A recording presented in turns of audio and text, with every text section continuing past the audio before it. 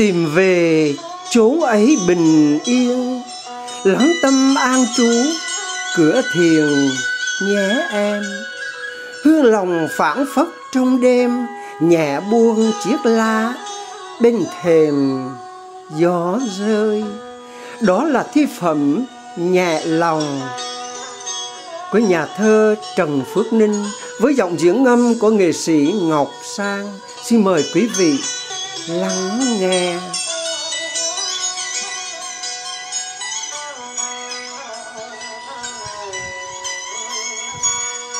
À.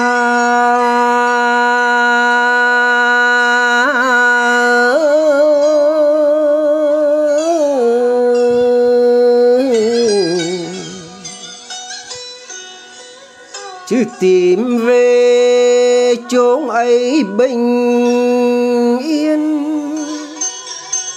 lặng tâm mang trụ cửa thiên nhà em.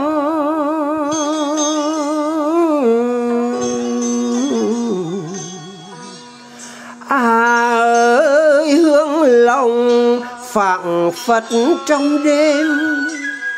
Nhẹ buông chiếc lá bên thềm.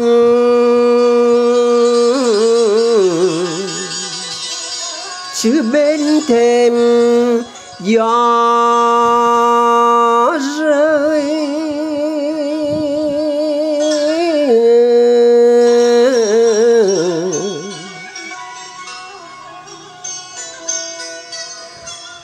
Tìm về chỗ ấy bình yên, lặng tâm, an trụ cửa thiền nhà em hướng lòng hướng lòng phảng phất trong đêm. Nhẹ buông chiếc lá bên thềm. Gió rơi. Về đây tìm lại cuộc đời từ vô lượng kiếp, luân hồi gặp nhau. Thời gian trôi, một sắc màu cõi hồng trần là nỗi sầu. Biệt ly. Mở lòng ra chớ sân si, nhẹ nhàng ta bước từ khi buổi đầu. Lặng lòng nghe tiếng nguyện câu, vườn khuya trăng rụng, giữa bầu trời. Xanh.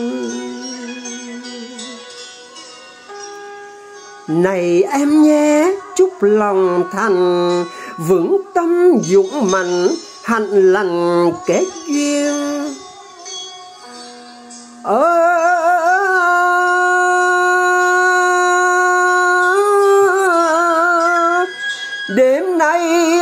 Trú cửa thiên lòng ta rất nhẹ giữa miên lạc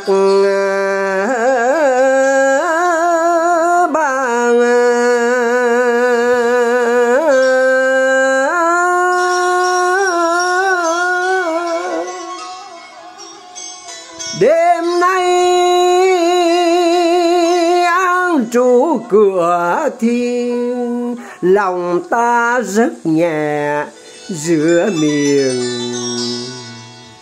lạc.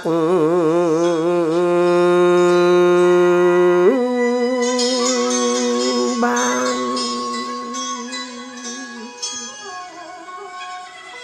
Tác giả Trần Phước Ninh Trong vườn tĩnh tâm, đêm 9 tháng 9 2021